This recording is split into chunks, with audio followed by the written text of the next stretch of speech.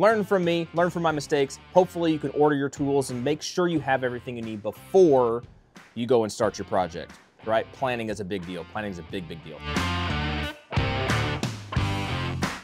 Hey guys, what's up? Caleb Downing with SDI, and I made a little boo-boo. Let's talk about it. Okay, so boo-boo number one. I threaded my uh, PAP M92, my AK pistol, threaded it 5 8 by 24. That wasn't necessarily a boo-boo, but what the boo-boo was, is these are very, very shallow threads. Just shallow enough, just deep enough, I could thread on my muzzle device, lock it on, get proper torque, put suppressors on it, and it lasted me for about two years, but they, it was not deep enough. Those threads, those cuts were not quite deep enough, and so about two weeks ago, I blew the suppressor off this thing.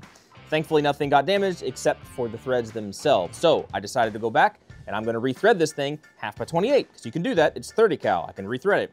And to do that, I need to use this knurler, this tool right here that has uh, teeth right here that cut the outside diameter of the barrel to a half inch so that I can rethread it half by 28.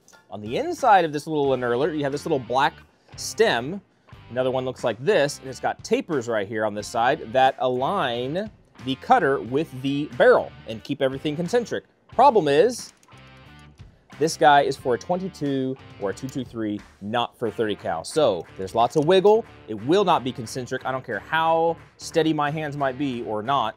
Uh, this will not be concentric. So I need to go order a 30 caliber um, guide to make sure that everything stays concentric. So the lesson here, kind of like buy once, cry once, make sure you have all your proper tools twice before you go start on your project make sure you do that. Because if you don't, this is gonna set me back about two weeks of time waiting for stuff to get shipped up here and it can be a pain in the butt. If you want to learn more about firearms, firearms technology, go check us out at sdi.edu and you can learn all about this kind of stuff and hopefully avoid some of the issues and stuff that I have done. All right, y'all be good to be safe, appreciate you, and hopefully we'll catch you next time. See you.